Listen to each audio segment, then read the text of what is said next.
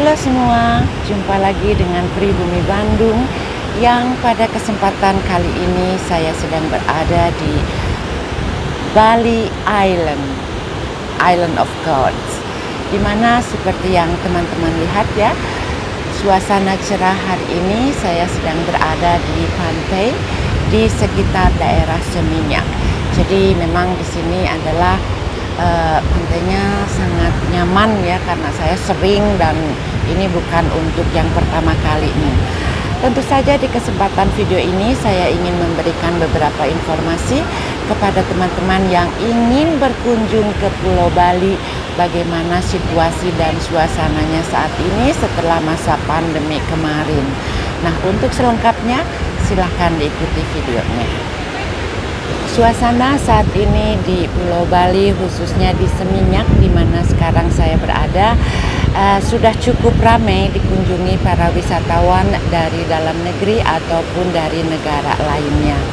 Walaupun kondisinya kalau yang saya lihat tidak serame sebelum masa pandemi ya. Jadi memang masih terasa agak kurang, banyak kurang ya Kalaupun di hotel-hotel juga sama, sudah ada turis yang datang, tapi tidak begitu banyak e, kalau saya bandingkan dengan masa e, tiga tahun lalu ya, sebelum masa pandemi.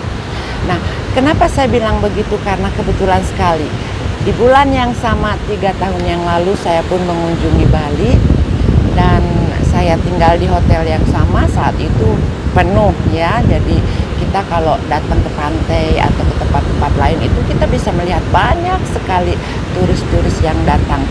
Namun hari ini di bulan yang sama dan saya tinggal di hotel yang sama, suasananya agak berlainan. Untuk saya pribadi lebih nyaman ya karena tidak terlalu bising, tidak terlalu crowded seperti itu. Namun saya mengerti untuk ekonomi Bali mungkin ini masih perlu peningkatan ya sehingga eh, masyarakat dari luar negeri ya turis-turis asing akan kembali berkunjung ke, eh, ke Pulau Bali ini dan saya sangat berharap step by step eh, toko-toko sudah banyak sekali dibuka ya saat ini dan ke depannya mudah-mudahan bisa stabil kembali seperti sebelum eh, pandemi di pulau ini atau di negara mana pun. Tentu saja dari Pulau Bali ini kita bisa mengunjungi tempat-tempat wisata lainnya ya di Pulau Penida atau juga Pulau Lombok. Namun saat ini saya akan memperlihatkan bagaimana suasana saat ini di akhir bulan Februari 2023 keadaan di Pulau Bali. Dan terus terang ya saya merasa bahagia sekali kalau saya bandingkan lihat-lihat uh, berita sebelumnya ya kalau di sini itu memang empty, memang kosong, toko-toko semua uh, pada tutup. Namun bukan saja hanya di Bali, tentu juga di negara-negara lain kita mengalaminya. Namun hari ini ya semuanya sudah mulai enjoy lagi. Nah, untuk teman-teman yang berencana datang ke Pulau Bali, ini informasinya ya. Jadi kalian sudah bisa enjoy.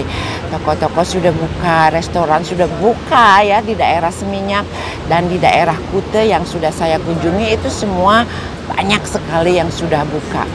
Uh, hotel tentu saja ya dan untuk di video selanjutnya tentu saya pun akan berkunjung ke tempat-tempat lainnya di Pulau Bali ini. Di kesempatan video ini pun saya ingin mengucapkan Om Swastiastu untuk semua masyarakat di Bali.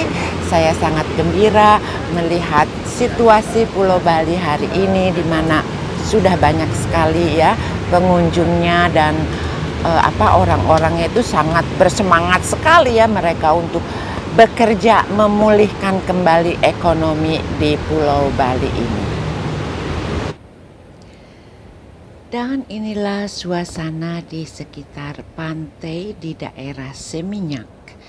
Jadi pantainya memang eh, pasirnya lembut ya di sekitar sini.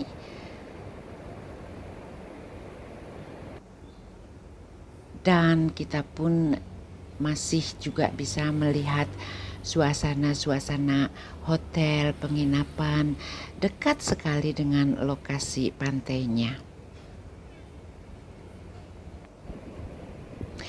Selain itu pun di pantai ini kita bisa belajar bermain surfing. Nah, untuk sahabat yang ingin uh, belajar ya, maka di sini pun tersedia banyak sekali sekolah-sekolah yang mengajarkan bagaimana untuk bermain surfing di lautan atau di pantai seperti yang teman-teman lihat.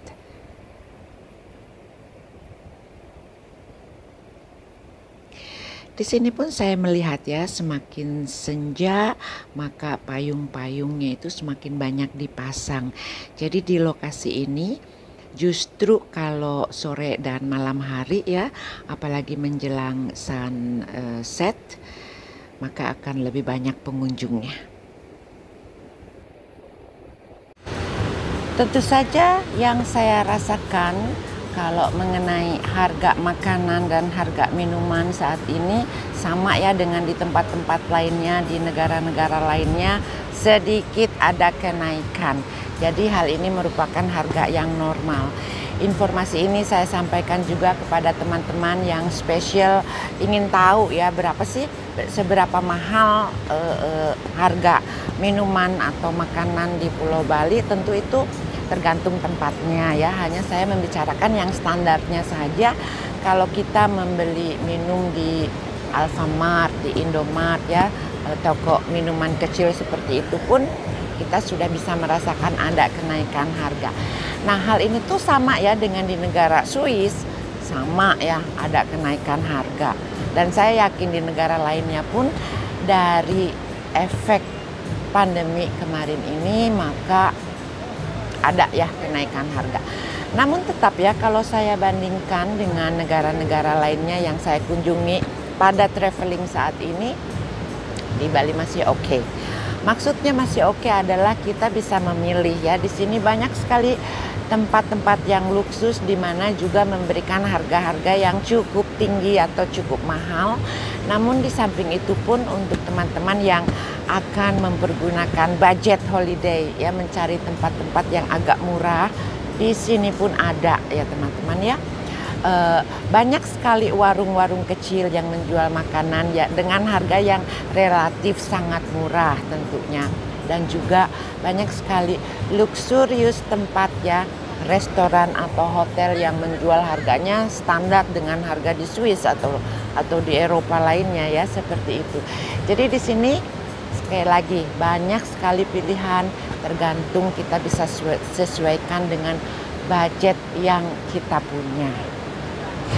Demikianlah sering saya di kesempatan video kali ini. Saya Pribumi Bandung mengucapkan terima kasih dan sampai jumpa di video selanjutnya. Goodbye.